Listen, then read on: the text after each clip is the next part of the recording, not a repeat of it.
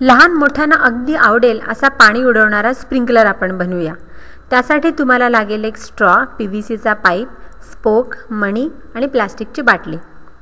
सुरुवातीला एक प्रोपेलर किंवा पंखा बनवूया. यासाठी सुरुवातीला एक लिटरची पाण्याची बाटली घ्या ती सेलोटेप लावून सुशोभित करा आणि सेलोटेपच्या वरच्या बाजूनी बाटली कापून टाका. आता ह्या बाटलीच्या भागावर असे उभे काप घ्या म्हणजे साधारण वीस एक पाकळ्या तयार होतील.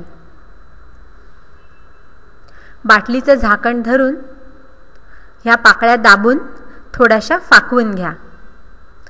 नंतर प्रत्येक पा पाकळी अशी पिळून घ्या म्हणजे त्याला थोडंसं वळण मिळेल आणि एक सुंदरसा प्रोपेलर तयार होईल.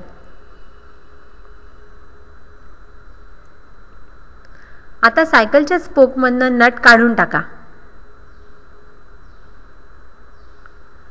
पंख्याच्या बाटलीचं झाकण काढून घ्या आणि त्याला मधनं भोग पाडून सायकलचा नट असा घट्ट बसवून घ्या.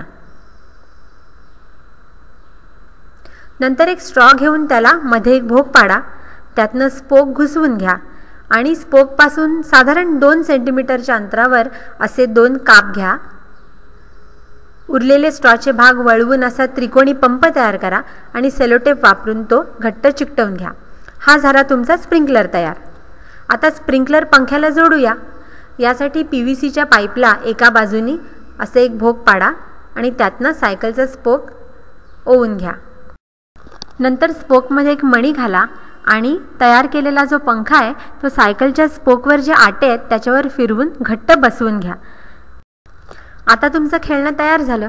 जेव्हा तुम्ही प्रोपेलरवर फुंकाल तेव्हा प्रोपेलर गोल फिरेल आणि त्याच्याचबरोबर खाली बसवलेला पंपही गोल फिरेल.